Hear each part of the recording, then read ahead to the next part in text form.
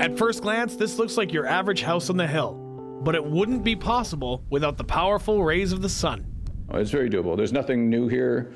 Uh, this is um, this is not new technology. It's quite proven. It's just a matter of, of learning about it.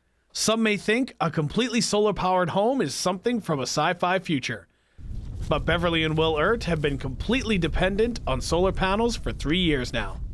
We built the house using solar panels. We run every piece of equipment you could imagine. And um, we intend to run a whole household and no sacrifices. I'm going to have an electric range, I'm going to have a dryer and a dishwasher, everything. Everything means they didn't skimp on luxuries. This is the famous root cellar,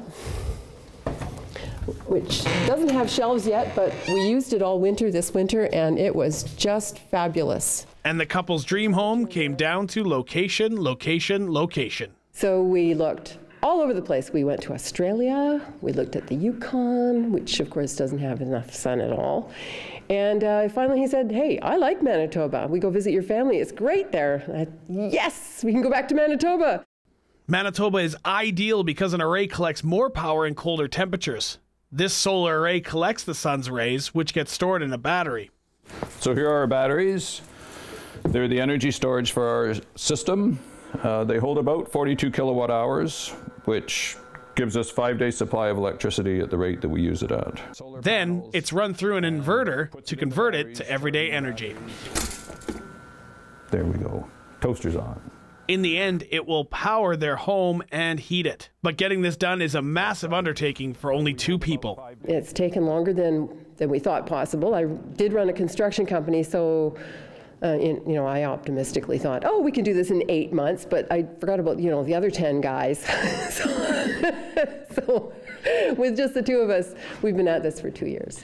The initial cost of solar power is high, but the Eerts say its benefits pay off in the long run.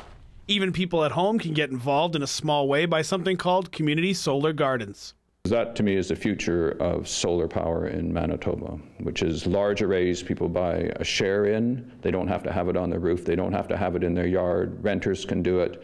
People in houses with bad siting, people in houses with shading can do it.